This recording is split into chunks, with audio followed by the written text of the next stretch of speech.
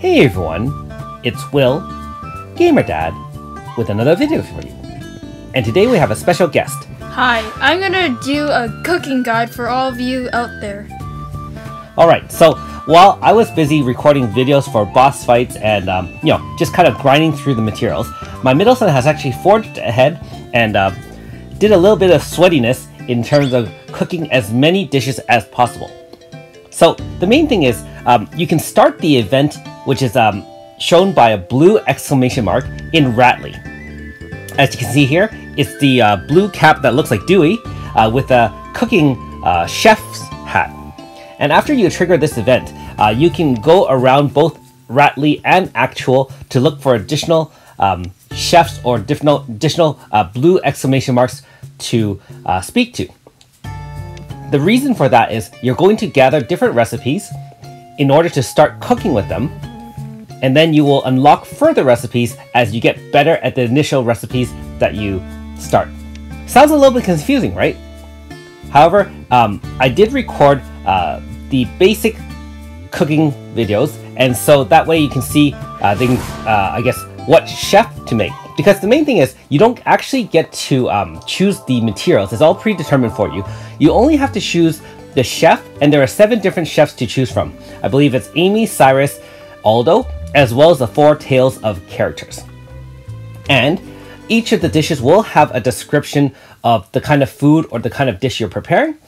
And each of the chefs will also have a description of their kind of abilities, um, specialties, and kind of their tendencies. And so, um, if you're just guessing out there, you can actually try to match the personality of the chef to the description of the dish.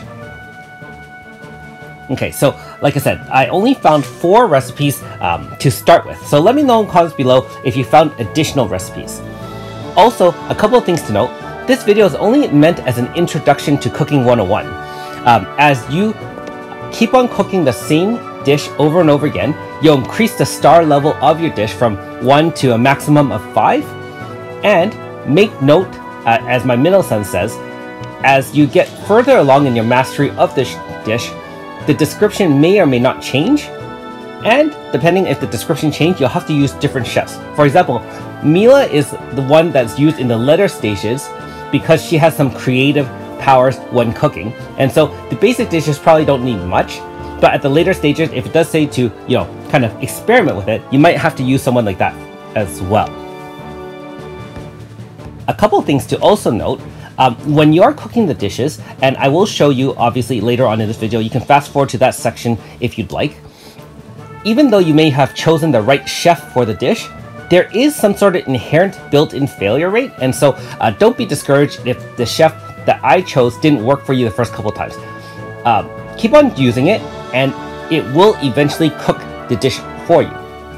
Now, for those collectors of food out there, uh, bear in mind that you can actually use these items both as a recovery item, and it actually recovers your MP and HP straight out like an inn.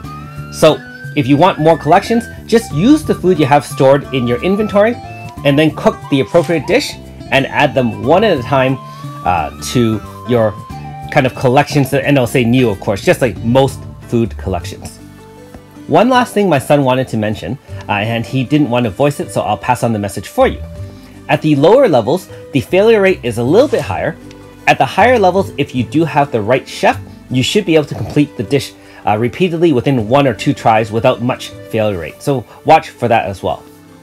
Of course, uh, if you're running low on inventory in your cooking ingredients, you have a few ways to get them. First of all, run the another dungeon either hard or very hard.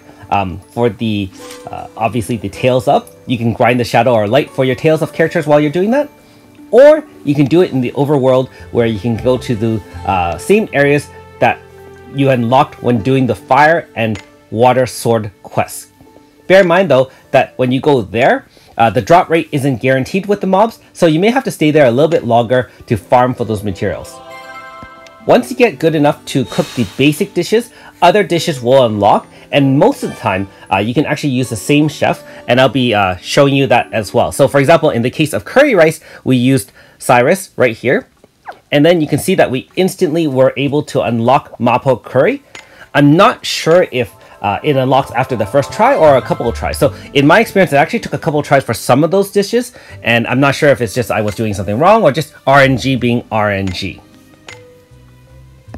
Also, there is one a Japanese voice acting skit, which will be the same thing, the white bubble at the bottom right corner, uh, for each completed dish that you have successfully made. So, um, you know, I will put those up in another video just because it's, you know, fairly long in length. So if you're interested, you can watch it there.